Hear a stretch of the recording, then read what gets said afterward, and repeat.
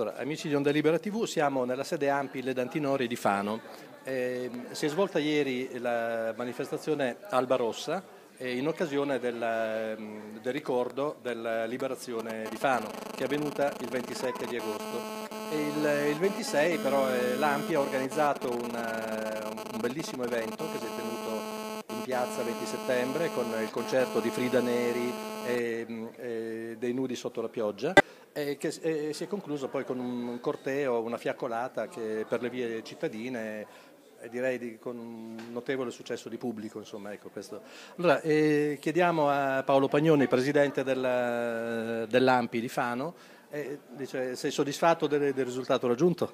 È una domanda che mi lascia molto contento perché devo dire che è una manifestazione che è giunta alla terza edizione ma che ogni anno riscuote sempre più successo.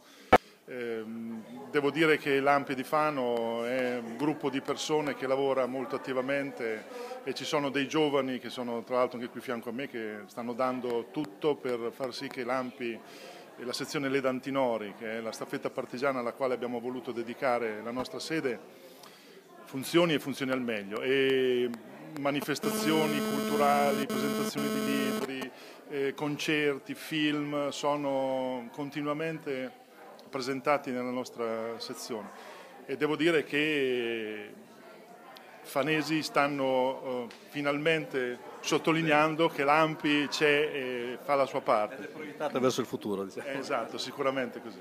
Ecco, infatti abbiamo qui due giovani che sono attivissimi all'interno dell'Ampi. Eh, Francesca, allora cosa, cosa mi puoi dire della, del successo di Alba Rossa? Ma siamo, siamo molto contenti anche, anche, quest'anno, eravamo un po' preoccupati per il tempo ma ieri è andata tutto molto bene, abbiamo avuto una cena di sottoscrizione prima al Bello e la Bestia con eh, più di 80 partecipanti e poi tutti in piazza per il bellissimo concerto, abbiamo cantato e poi abbiamo fatto la nostra sfilata che facciamo tutti gli anni per la piazza che si conclude a mezzanotte perché poi si congiunge al 27 che è il vero giorno all'alba del 27 in cui Fano è stata liberata, in cui i polacchi sono entrati nella nostra città.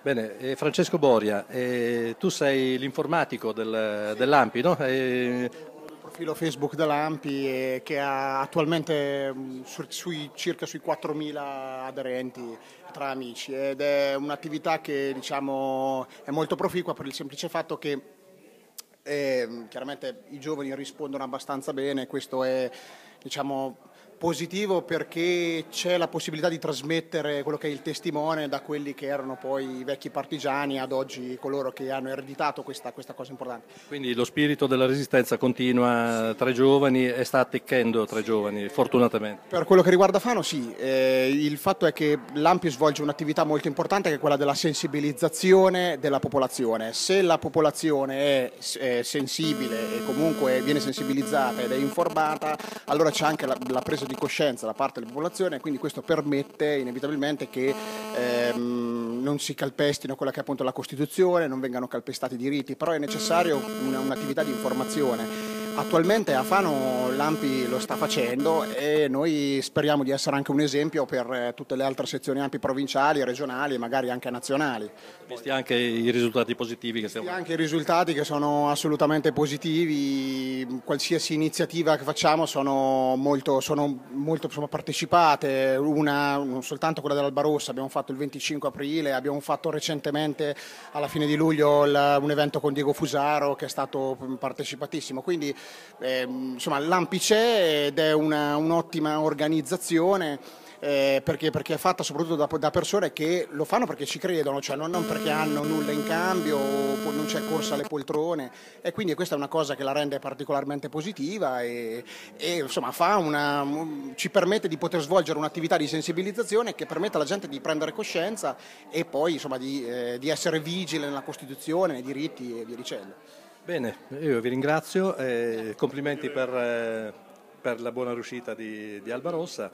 Eh, dimmi. No, eh, sì, eh, intanto continuo a ringraziare per tutti quelli che hanno attivamente contribuito alla riuscita di Alba Rossa e al contributo che si continuerà a dare per l'Ampi Fano, ma voglio ricordare che mh, la sezione di Fano ha presentato ehm, al Consiglio Comunale, verrà discussa a fine settembre, la richiesta perché spazi pubblici eh, che riguardano il comune di Fano non vengano concessi ai fascisti, alle forze come a Forza Nuova e Alba Dorata e altre organizzazioni filonaziste che purtroppo ancora, eh, sono ancora presenti nel nostro territorio.